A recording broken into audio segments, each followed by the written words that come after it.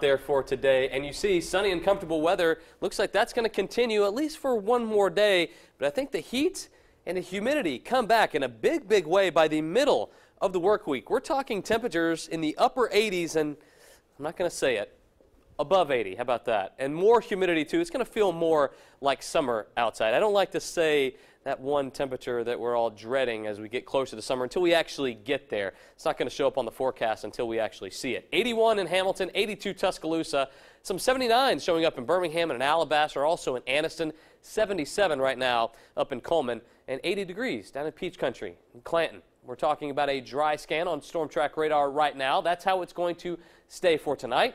It looks like for tomorrow, too. Beautiful weather once again all throughout the deep south for the most part. Still seeing a big area of low pressure spin in the mid Atlantic states. That's spinning a few showers into the mountains of the Carolinas, also Virginia. Some clouds down south, but not too bad from the Gulf Coast states all the way over to the uh, Atlantic coast. Not too bad at all. We're talking about temperatures in the 80s right now.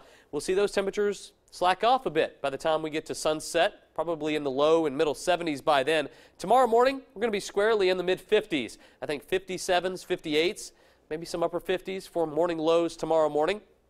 Then tomorrow afternoon, expect a jump in those temperatures, three, four, five degrees warmer than it was today. You see a lot of 83s, 84s, and 85s for top temperatures on Monday afternoon. And if you like the warm weather, just wait a second. We're going to show you even more. More temperatures in the uh, upper 50s and right near 60 for Tuesday morning. And then by Tuesday afternoon, there you see it. Some 88s, 87s, 86s showing up on the screen.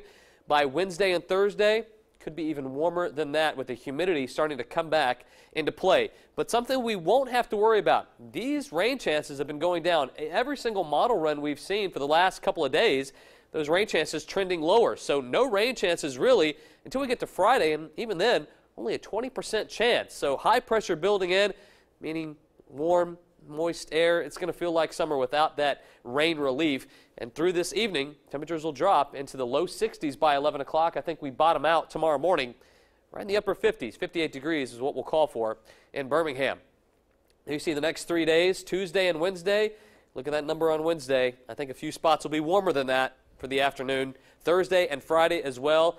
And we only see 20% rain chances Saturday and Sunday with a little break in the heat with temperatures in the mid 80s for next weekend. Lee, back to you.